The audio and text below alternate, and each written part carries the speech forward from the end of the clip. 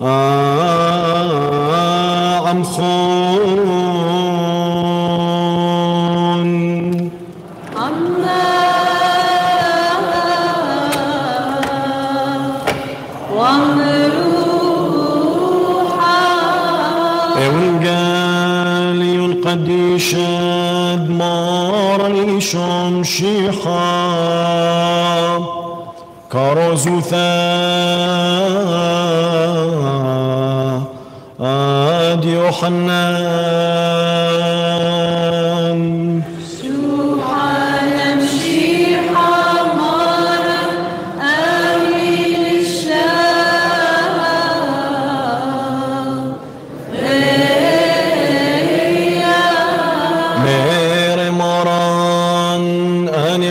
مخ ما بيخايد من شمين خفت لي وناخل ناشا من دادي لخمة بتخاية الأبد لخمة وادانا يا وني بغريلي بغريلي بدل خايد العالم دك يا وني. مجدلي وهو ذاي خام متخنة وأمري دخي بيديد يا ولن بغريتي خالا ميري طالي شوب حقوث بحقوث كمرن طالوخن اندلاخلو تنبغر برناشا وشاتو تندمي لتوخن خايب قنومو اوخن Jesus said, I am the living bread. Which came down from heaven. If anyone eats of this bread, he will live forever. And this bread which I shall give for the life of the world is my flesh. The Jews then disputed among themselves, saying, How can this man give us his flesh to eat?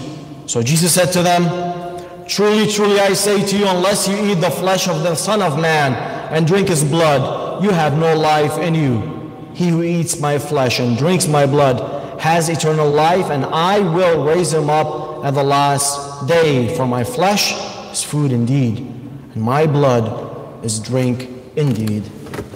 شحاب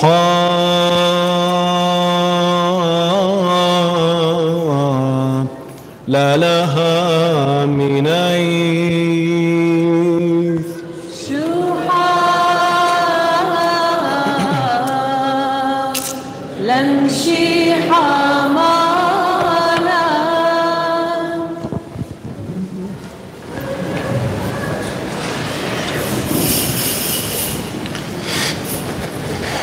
The name of the Father, and of the Son, of the Holy Spirit, amen. Good morning.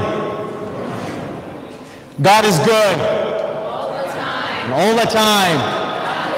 I think you can do better. God is good. All the time. Now we are thankful to our Father, God Almighty, for many, many blessings that we have.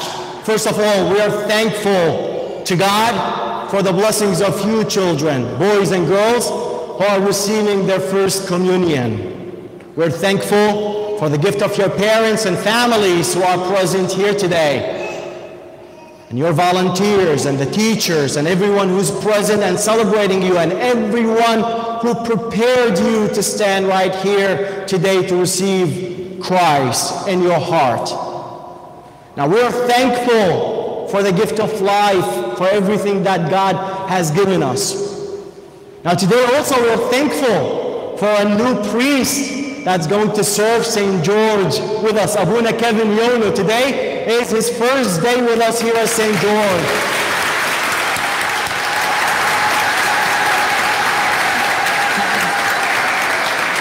Now that really deserved the helhula. It's good.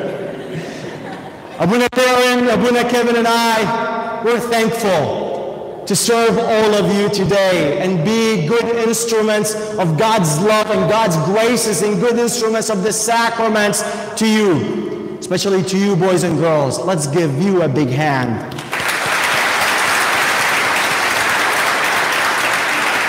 Now, nothing can stop us from receiving Jesus, right? Nothing in this world can stop us. We made sure of this. No pandemic, no lockdown order, nothing. Because the main thing today is you guys and boys and girls are receiving Jesus. Do you agree with me?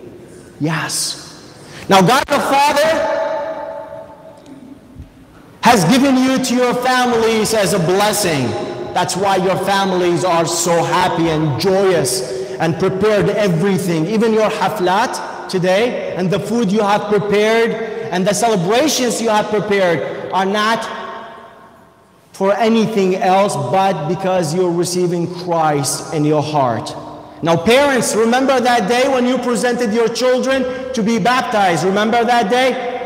It was just like yesterday, right? They were wearing white. And today you are wearing white again. But you're grown ups. You know exactly what you're doing. So, God the Father gave you as a blessing to your parents and as a blessing also to the church. You received that already when you were born. We're standing here because God blessed us.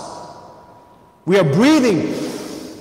Try to breathe this air because God blessed us. No matter where we are today, no matter what we do, you woke up this morning, you have a home, you had breakfast, your pictures were taken, you dressed up, you are present here, you're standing in front of God and His altar. This is a great blessing to the parents as well. So your parents are a blessing to you, and you are a blessing to your parents. God the Father. Now, when you were baptized, you received something very special. Do you know what that is? What did you receive during your baptism? What did you receive? You can say it from your place, it's okay. What did you receive during your baptism? Look at you, you guys remember your class, it's amazing. So you received the gift of the Holy Spirit during your baptism. And that Holy Spirit made you strong. And you took that, the gift of the Holy Spirit with you home, right? And sometimes you need to decide certain things in your life. What should I do? And Christ always enlightened you with that decision. That's the gift of the Holy Spirit. With the Holy Spirit, we can't do anything. The bread and wine today during Mass will be coming. The body and blood of Jesus Christ by the power of what? Do you think by the power of the priest? No, it's by the power of the Holy Spirit. And that's so special today. Now, today, the Father, the Holy Spirit, and today you're receiving what? Jesus. Father, Son, and Holy Spirit, right? Today you're receiving Jesus in your heart. So your life is complete. Your life is full. When you receive Jesus, you are one with Him, and He is going to be one with you. This is very important to remember. Christ is always present here. Christ is always waiting for you. So, can you eat only once and live and that's it? You gotta eat every day, right? To stay strong, to stay functional, you need to eat every day. Food, food is very important. So there is food for the body, and there is food for spirit, the soul. And that's the responsibility of the parents. Baba Watha Yumatha. Now, your kids cannot drive now, I, ho- I hope not.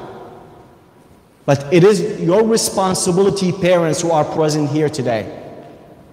It is your moral and ethical and Christian responsibility to bring your kids to receive communion. Otherwise, whatever we're doing today is nothing. Now, you gotta show them the way. It's not only by dropping them off at church, not only by asking them to pray. You want unity at your family? Pray together. A family that prays together stays together. And this is the power, this is the power of Christianity. This is the power of our faith. It does not come from nothing. It comes from prayer. We can be strong in many other things. We can be known about a lot of things. Parents, we can be known about our haflat. We can be known about our good food, and this is good. We can be known about a lot of things, but the main thing we should be known of how close we are to the heart of Jesus. And this is your responsibility. The day that you said yes in front of the altar, it was not only yes to your spouse, to your husband, or to your wife, it was yes to raise a good Christian family. On that day, you took that responsibility. For you kids, make sure. I'm going to teach your kids against you guys. Make sure you nag. Are you good at nagging? Yeah, I guess you are. Every Sunday, every Sunday, you tell mom and dad, mom and dad, I need I need Christ in my life. I need to receive Jesus. Because if you want to stay strong in your spirit and you need to make good decisions in your life, you need Jesus every Sunday in your heart. And that's the maintenance that you will keep every Sunday. You receive Christ. Every Sunday you receive Him. Every Sunday you grow closer and closer to Him. And I think the Abunas agree with me on that. We are who we are. The servers, the choirs, and everyone, we are who we are. And a lot of you actually I see during Sunday Masses. And I love that. Not because it makes us feel good. I love that because it makes us feel one in Christ. So, congratulations again to you, boys and girls, on receiving Jesus. Father, Son, and Holy Spirit is complete in your heart today. Everything is complete. To the parents, congratulations to you and your families. I ask the Lord to bless you with many graces, to bless you. May this communion that your kids are receiving today bring you and bring you to your families and, and work and everything you do a lot of blessings. We ask this through the intercession of our Mother Mary, through the intercession of our patron saint, Saint George. In the name of the Father, and of the Son, the Holy Spirit forever. Amen. To, to you, boys and girls, let's give a big hand again. God bless you all. God bless you.